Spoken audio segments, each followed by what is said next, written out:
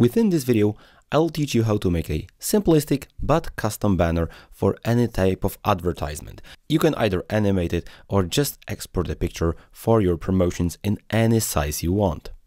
To begin with, I've used resources from freepik.com. I'll leave the links in the description below. You can of course use a different website. I just happen to like this one and I've inserted torn paper and I've downloaded something like that. And I'll show you everything to use without any editing software, just PowerPoint. Then I typed in brush stroke and just downloaded some kind of brush strokes for this bottom element. And the last one was some hand-drawn pattern elements for the background. This is the most complicated element because actually this is what I did here. All right, how to actually use and edit it. The first will be torn paper. My second one will be brush strokes. And the third one, the most advanced one, will be this background pattern. Okay, let me head over to PowerPoint. For the background, uh, this is the most difficult pattern, but I will start with it. I want a correction, or actually a color. I want to decrease the color saturation because basically I want to use those elements and delete the white background. I can remove the white background. There is an experimental function in PowerPoint. It's not yet fully correctly working, but we can go to color, set transparent color, and remove the white color like that. But as you can see, still so many white distortions are around here. So it will be much better if we use the classic remove background feature that works very well. PowerPoint basically wants to remove everything, but I want to keep a couple of those, let's call them shapes. Mark areas to keep. I'll mark this area to keep and a couple of them.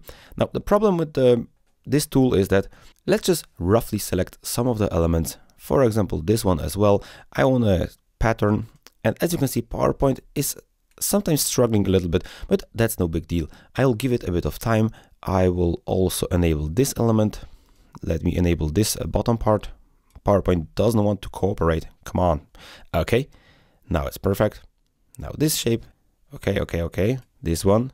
PowerPoint, really don't let me down. I'm recording a tutorial uh, showcasing how you work and you do this. Okay, perfect. Now this element, let's make this the last because I don't want to overdo it. Perfect.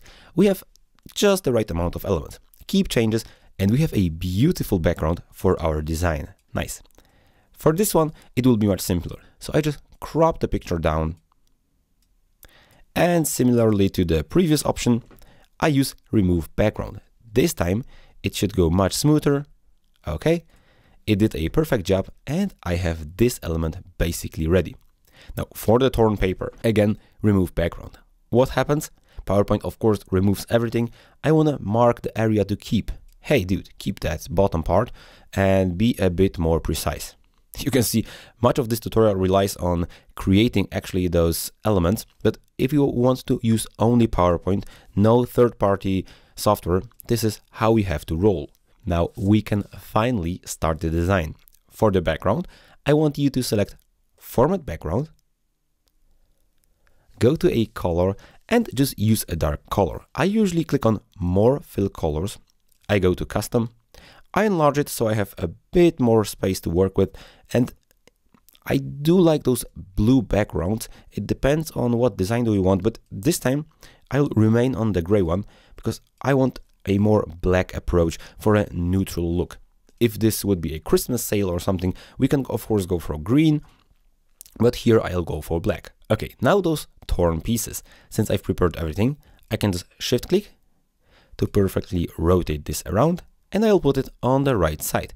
You can see it should be a bit smaller. We basically prepared this element. I press Ctrl D to duplicate it. I will rotate it around. And no, I do not want those additional options. I'll put it on the left side this time. Perfect. Now for this element, it is just an informational piece that we will most likely put some percentage like we did here above. And this would be basically ready. Now for the background pattern. This is the like most beautiful part of this design in my opinion. I want to put it here. I want to right click and go to format picture. If you use PowerPoint 2019, 365 or 221, you should have on the picture options, you should have the picture transparency option. With the picture transparency, I can increase the transparency to a really high amount, like 94, 95%. So we have something in the back not disturbing the actual design. I'll make sure that this is in the back by right clicking and sending it to back. The final piece of this design would be to put in some text. I assume that you know how to put in text into PowerPoint. You go to insert, use the text box, or from the shapes, if you have newer versions of PowerPoint, the first basic shape is also a text box. So we will start with Big sale. I have plenty of those big bulky fonts installed for perfectly for this kind of usage. So I'll just use one of them. This time I use Barlow. Maybe it's a bit too narrow, but it shows you the idea behind the, the design. If it's too narrow, I can always make the letter a bit more loose. It's still a bit narrow, but you get the idea.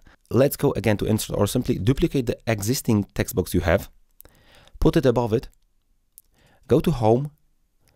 I often resize it so this font selection window doesn't come in the way I want to really properly see this one. And now I'll search for a script font. This looks horrible. I've actually used, um, I think, caveat, caveat, caveat. I hope I'm pronouncing that somewhat well. Okay, you always know better. Caveat. Caveat. Caveat. Same. Oh, Alright, I will use this difficult to pronounce font. Correct me in the comments if I'm wrong.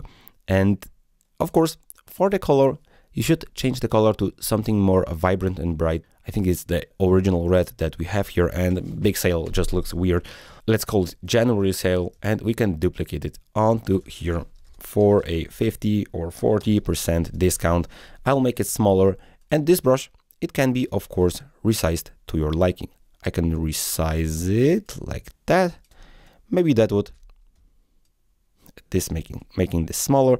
The design part isn't as difficult. You can at any given point go to design, slide size, custom slide size and change the slide size. For example, I want 1000 pixels per 250 pixels. I press OK. I press ensure fit so all the elements fit. And what do we have here?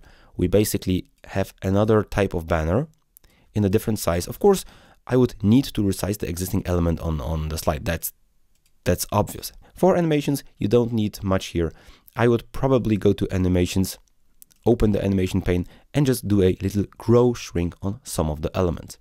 If that looks weird to you, you can always double click, go to this effect, enable a bit of smoothing, enable auto reverse so it comes back after it animates, and on the timing, just make sure it rewinds when done playing.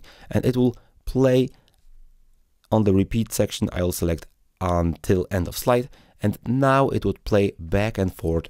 Of course, I could uh, increase the duration, and this would be my final design. It would come towards me and back, towards me and back. I could, of course, copy this existing animation, animation painter onto some text, double click on it, go to effects and I would reduce the text size to 125.